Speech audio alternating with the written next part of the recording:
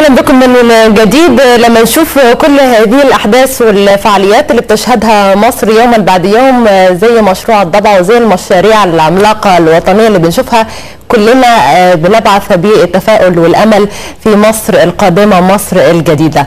الحقيقة إحنا عندنا ليست فقط هذه النماذج ولكن أيضا عندنا نماذج طبية ليست الصورة الذهنية المعروفة عن المستشفيات أو الحكومية أو المراكز الطبية بأنها مستواها رديء أو قليل الجودة. النهارده بنقدم نموذج مركز أمراض الكلى والمسالك البولية بجامعة المنصورة وهو أشبه الحقيقة بخلية نحل.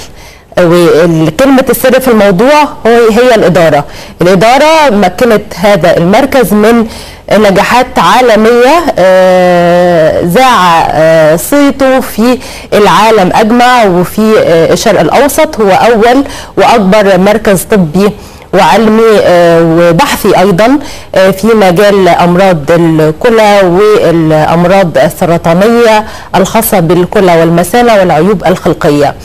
المركز ده مركز مجاني. أي مريض من منذ دخوله العيادة الخارجية بيدفع التذكرة بجنيه فقط. ثم يقوم بكافة التحاليل والأشعة إلى حتى مرحلة العمليات لا قدر الله. كل ده مجانا خدمة للمريض. النموذج ده لو اتطبق مش بس في المستشفيات اللي في القاهرة أو في المحافظات لا في المستشفيات الأخرى الحكومية في المنصورة إحنا مش هيبقى عندنا أي مشكلة.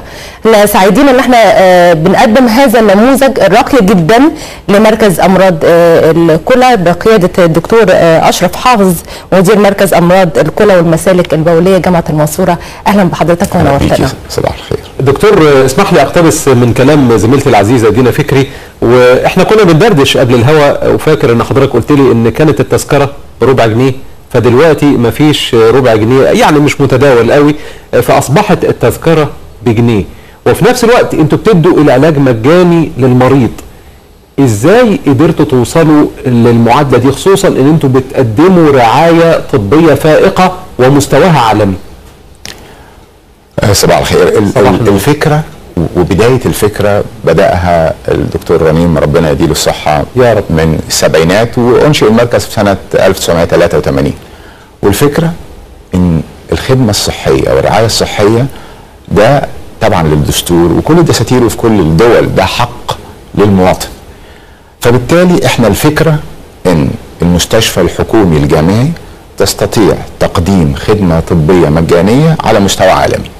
وبالتالي في تصميم من البداية وحتى الآن إن قيمة التذكره رمزية ليس لها قيمة وعمرنا ما فكرنا إن إحنا نزود ثمن التذكرة. إحنا الفكرة إن عندنا عيادة خارجية بيجي من 900 إلى 1400 مريض يوميا من أمراض جراحة الكلى والمسالك البولية واللي محتاجين زراعة كلى. الكشف تذكره جنيه ودي بيدفعها المريض في أول مرة في المتابعة بعد كده مجانا. الكشف مجانا التحاليل مجانا الأشعاعات مجانا ويصرف العلاج من العياده الخارجية مجانا. وإحنا بنصرف علاج في العياده الخارجية ب 5 مليون جنيه شهريا. ومصممين على إن ده يستمر. يجي الجزء في الجراحات إحنا المريض اللي بيحتاج جراحة 87% من المرضى الجراحات بيتم إجراءها مجانا و13% بيتم بأجر وأجر رمزي. وعندنا الحاجة الكويسة اللي هي مهمة إن طالما المريض دخل المستشفى لإجراء جراحة مفيش حد يعرف مين اللي باجر ومين اللي بمجانا. ما عندناش أوض مخصصة لعلاج اقتصادي السراير واحدة الأوض واحدة والمعاملة واحدة للقادر وغير القادر. وهي دي الفكرة. الفكرة إن المواطن ينبغي الحفاظ على كرامته. إن القادر الله. أو غير القادر يستطيع خط تحت الكلمة دي. إنه يجد خدمة طبية متميزة بدون أي امتيازات لمن يملك أكثر. م. إحنا الحقيقة حضرتك بتقول لي بنقدر نعمل ده إزاي؟ نمرة واحد موازنة الدولة. تلتين أو 65% مما ينفقه المركز وده حوالي 270 مليون جنيه. في السنة من موازنة الدولة والجزء الباقي من آه تبرعات المصريين بدون دعاية أو أي شيء الناس الخيرة بتلاقي إن المكان ده بيخدم الناس مجانا وبيقدم خدمة جيدة وبالتبعية فالتبرعات بتجيلنا. نامل في المزيد طبعا مع الأوضاع الحالية لكن بصفة عامة أهل الخير في مصر كان لهم دور كبير جدا على مدار السنين في إن المركز ده يقدر يقدم الخدمة الطبية المجانية دي لكل المصريين. بتواجهوا الكثير من التحديات منها بالطبع الحفاظ على المستوى الخاص آه، بالمركز آه، في ال updating الاطلاع على كل ما هو حديث آه، تكنولوجي وخصوصا ال- المركز مهتم الآن بالاهتمام بالميكنة آه، في كل آه، أقسامه بالإضافة بالطبع إلى آه، الاهتمام بالأبحاث. يعني هناك أكثر من آه، 700 بحث عالمي آه، نشر في دوريات علميه وده معناه إن المركز آه، على قائمة المراكز العالمية التي تهتم بهذه الأمراض الخاصة بالكلى والفشل الكلوي والأمراض السرطانية والعيوب الخلقيه. آه إحنا في النهاية إحنا مركز جامعي وبالتالي دور الجامعة في المجتمع يمثل في مركز أمراض الكلى والمسالك البولية. إحنا لنا جزء من خدمة المجتمع اللي هو الجزء العلاجي، جزء تعليمي في تعليم الطلاب آه، في كلية طب جامعة المنصورة وتدريب الأطباء من داخل مصر ومن الدول العربية ومن جميع أنحاء العالم. إحنا عندنا في ناس بتيجي من جميع أنحاء العالم للتدريب ثلاث شهور أو ست شهور أو سنة عندنا زمالات بندي زمالات آه، في تخصص زراعة ال- الكلى وفي مناظير الكلى وفي جراحة المسالك البولية في الأطفال آه، لمدة عام. وبيجي لنا ناس من بره بيدفعوا 1000 دولار شهريا للتدريب لمدة 12 شهر. زائد إحنا بنعمل دورات آه، تدريبيه كل شهرين أو ثلاثة في تخصصات مختلفة. بيجي لها ناس من جميع أنحاء العالم. وفي الجزء اللي هو التدريبي والتعليمي إحنا بالاتفاق مع وزارة الخارجية إحنا مع مع السفير حازم فهمي بنعمل دورات للدول الأفريقية في في التخصص وخاصة دول حوض النيل آه، في الأبحاث طبعا ده جزء مهم جدا وزي ما حضرتك قلتي إحنا عندنا أكثر من 700 بحث منشور في المجلات العالمية وعندنا معمل أبحاث داخل المركز لا يقل عن معامل الأبحاث اللي موجودة في آه، آه، أمريكا الشمالية سواء أمريكا أو كندا. طب دكتور يعني ممكن أتكلم بصراحة بنسمع إن كليات الطب آه، على مستوى جمهورية مصر ككل ما بقتش بنفس آه، مستوى كليات الطب بتاعت زمان. يعني أعداد كبيرة جدا من الطلبة آه، يعني لو في تشريح أو خلافه بيبقى حوالين مائدة التشريح آه، أعداد غفيرة من الطلاب بحيث إن ما يقدرش يتفهم بصورة كاملة قصة التشريح آه، وظائف الأعضاء المشاكل اللي ممكن تصيبها. يعني زي ما بنسمع إحنا مش متخصصين. إيه الميزة اللي ميزتكم في طب المنصورة عن كليات آه، الطب الأخرى؟ وأيضا الميزة بتاعت مركز الكلى. ما في مراكز كلى في آه، طول الجمهورية وعرضها أنتوا الميزة بتاعتكم إيه؟ طيب هنبتدي حضرتك بتتكلم على نقطتين. آه. النقطة الأولى كلية طب المنصورة. كلية طب المنصورة الإدارة الحالية والإدارات ال- ال- السابقة اهتمت بالجودة في التعليم. في عندنا برنامج اسمه المنصورة مانشستر بالتعاقد مع بالتعاون مع جامعة مانشستر في بريطانيا وبيدي برنامج ممتاز جدا. والبرنامج ده بدأ من سنوات وانتقلت عدواه اللي هي المجموعات الصغيرة والتعليم الأفضل إلى البرنامج العادي في كلية طب المنصورة. فدلوقتي في في في طب المنصورة أعداد صغيرة للتدريب. مشكلة مصر بصفة عامة هي الأعداد ال- الكبيرة. ففي small group teaching اللي هو تدريس لمجموعات صغيرة ده موجود في كلية طب المنصورة. الكلية كمان الإدارة الحالية اللي موجودة بتحرص على الجودة والاعتماد بتاع الكلية وده مهم جدا جدا والفيدباك أو دور الطلبة في تقييم البرنامج التعليمي اللي موجود. فده مميزات كلية طب المنصورة. يجي مستشفيات جامعة المنصورة بصفة عامة الميزة اللي فيها كانت مع بداية مركز الكلى في سنة 83 هي المراكز الطبية المتخصصة. ودي حاجة متفردة في كلية طب المنصورة في جامعة المنصورة. إن في مركز لجراحة الكلى والمسالك البولية مركز لجراحات الجهاز الهضمي وهو من أكبر الأماكن اللي بتعمل زراعة كبد في مصر.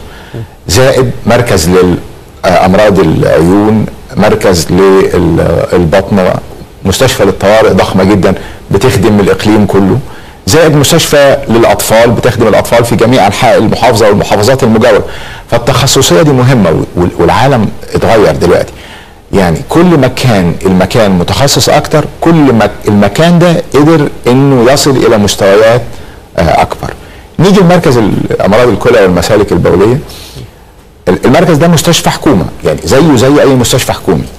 طيب ليه هو مختلف؟ هل أنا أقدر أطبق النظام اللي موجود في مركز ال- الكلى ده أطبقه على مستوى مصر؟ ده سؤال صعب. محتاج إرادة يعني محتاج إرادة ومحتاج قدرة على إدارة ال- المكان ده. الفكرة بدأها الدكتور غنيم.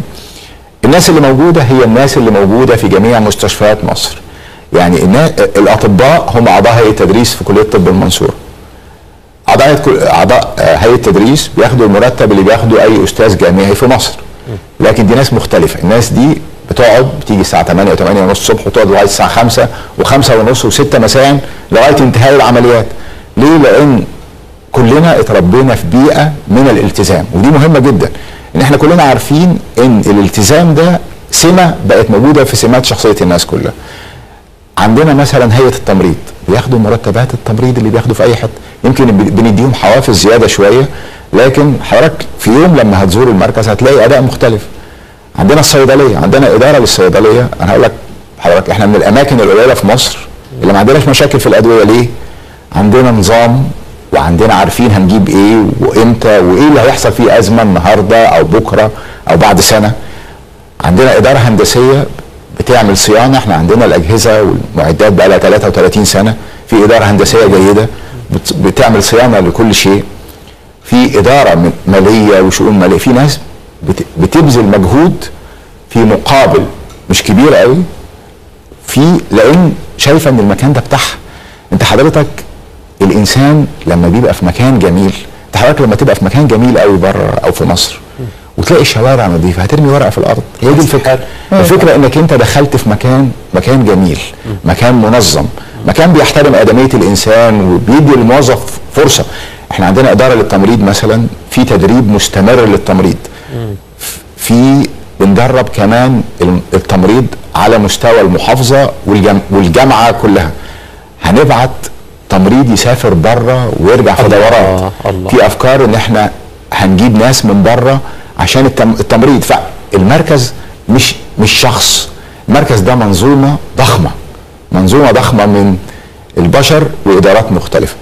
طيب إحنا هنرجع تاني لنقطة آه، آه، جراحات آه، الكلى وزراعة الكلى ولكن خلينا نرجع لمطروح مع زميلنا محمد خالد ولقائه عن الحوار المجتمعي في الضبعة ونرجع ليك يا محمد اتفضل يا محمد صباح الخير.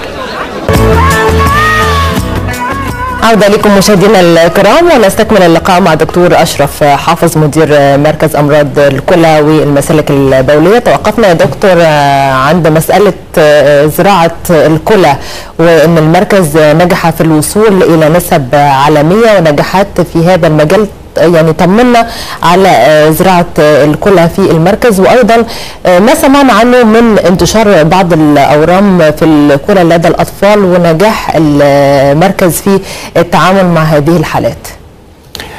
إحنا حضرتك بداية زراعة ال- الكلى في ال- في المنصورة ومصر والشرق الأوسط بدأها أول زراعة كلى في مصر سنة 76 لاستاذنا الدكتور غنيم. حتى اللحظه إحنا أجرينا 2850 زراعة آه، كلى بنجاح. نسب النجاح ال- اللي عندنا.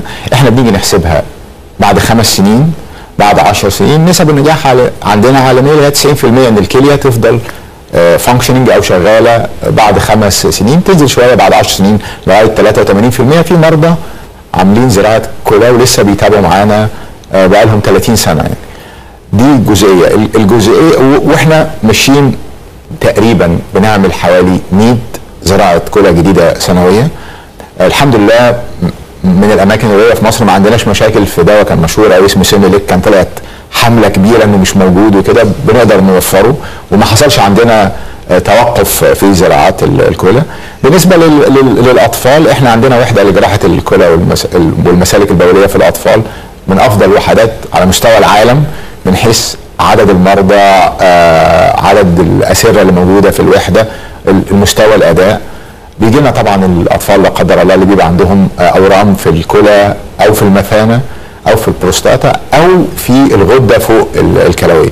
وللأسف الشديد الأورام في الأطفال في المناطق دي غالبيتها العظمى أكثر من 98% بتبقى أورام آه، سرطانية. الأورام دي عادة في الأطفال دي بتتعالج بالجراحة وبيحتاجوا علاج كيميائي مع ما فيش حاجة اسمها جراحة فقط. غالبا بيحتاجوا علاج كيميائي. وإحنا كمركز عندنا مكان مخصصينه في العيادة الخارجية عشان آه، إعطاء العلاج الكيماوي للأطفال دول وللمرضى. يعني أي مرض آه، أي مريض سواء طفل أو كبير. عنده سرطان إحنا بنتكفل المركز بتوفير العلاج الكيميائي. ما فيش ما حصلتش في تاريخ هذا المركز 33 سنة إن المريض يروح ادويه العلاج الكيميائي مكلفة. ما حصلش إن مريض راح معاه بالجلسة وقلنا له الدواء مش موجود أو روح اشتريه أو القصة دي. ده غير وارد. فدول لهم أولوية ودول ماشيين آه، في في في علاجهم ودول أولوية للمركز ولل وللمكان.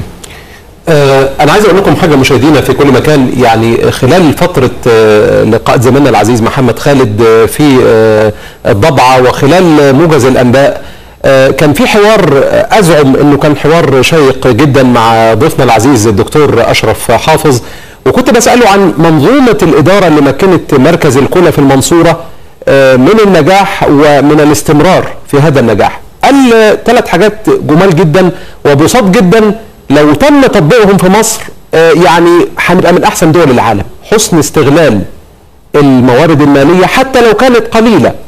قال برضو إن آه، آه، لما اتفق على جهاز أو حاجة بتفق معاه على سيستم الصيانة وإن الشركة لو قصرت هي اللي تيجي تدفع مش أنا اللي أدفع.